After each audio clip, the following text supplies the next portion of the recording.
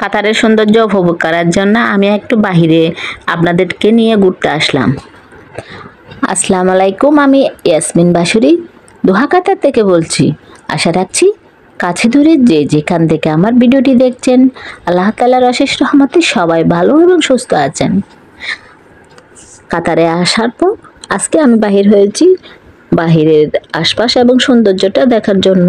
আর বাহিরে আসার পরে দেখতেছি সুন্দর বাড়ির ভিতর খেজুর গাছ, এখানে আদা পাখা খেজুর দরে রয়েছে আর অন্যদিকে খেজুর লাল পেকে রয়েছে।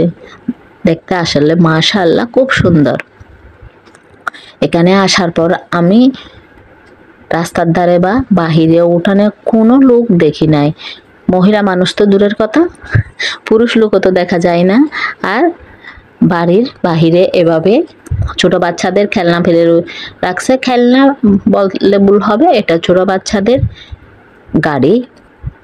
এগুলো এরা এমনিতে ফেলে দিছে। আমাদের দেশে হলে এগুলো তো সবাই কুড়িয়ে কুড়িয়ে নিয়ে যেত। যাই হোক, আমরা কাতারের রাস্তাটা একটু ঘোরাঘুরি করতেছি। আর এখানে তেমন কোনো বাড়ির আশেপাশে গাছ না, কিছু লেবু গাছ। আর কিছু খেজুর গাছ দেখলাম। একদম শান্তশিষ্ট পরিবেশ, আর আমরা যে ওয়েদারে এসেছি, এখন নয় গরম আর নয় ঠান্ডা। এটা কিন্তু খুব বেটার একটা ওয়েদার ছিল। না হয়তো দিনের বেলায় গরমের জন্য এখানে বাহির হওয়া যেত না। আর আমাদের দেশের মতো বাড়ির পাশে এরা লেবু গাছ রেখেছে। আমি একটা লেবু পাতা ছিঁড়ে নিয়ে সুগন্ধিটা দেখছিলাম, তবে লেবু ছিল না। গাছটা এত বেশি জুফালো ছিল, আমাদের দেশে হলে তো অনেকগুলো লেবু জ্বরে থাকতো। আর এটা একটা শাক যেটা আমরা বাড়ি বাংলাদেশে খেয়ে থাকি। ননে শাক বলে এটাকে। আর দেশের মতো একটা শাক দেখে সেটা আপনাদেরকে দেখাচ্ছি। আর বাড়িটা এত পরিমাণ সুন্দর। আর সব বাড়ি এখানে দোতলার ঊর্ধ্বে আমি কোনো বাড়ি দেখি নাই। সবার বাড়ির সামনে কয়েকটা গাড়ি। আর আমরা যে কফিলের বাসায় এসেছি, সেখানে, তাদের নাকি বিশটা গাড়ি আছে। আর ওরা গাড়ি ছাড়া তো বাহিরে এক পাও দেয় না। আলহামদুলিল্লাহ, আমরা যাদের বাসায় এসেছি, তারা আমাদেরকে খুব আন্তরিকভাবে মানে ফ্রেন্ডলিভাবে গ্রহণ করেছে।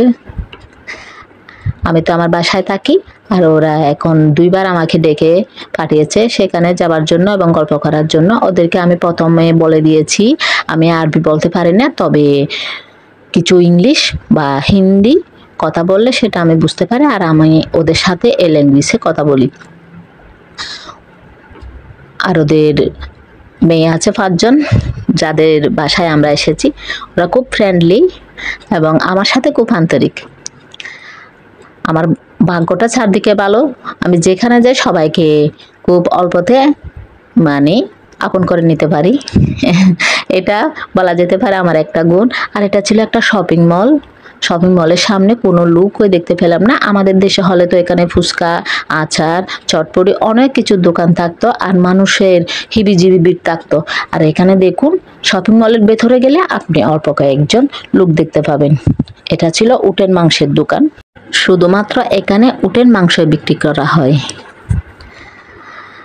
আর এদিকে গাড়ি আর গাড়ি। আমরা ওই যে ওই পাশটা, সামনের পাশটায় যাব এখন। সেখানে সুন্দর একটি ইয়ে আছে মানে পার্ক, যেখানে বিকেলবেলা টুরিস্টরা ঘুরতে আসে।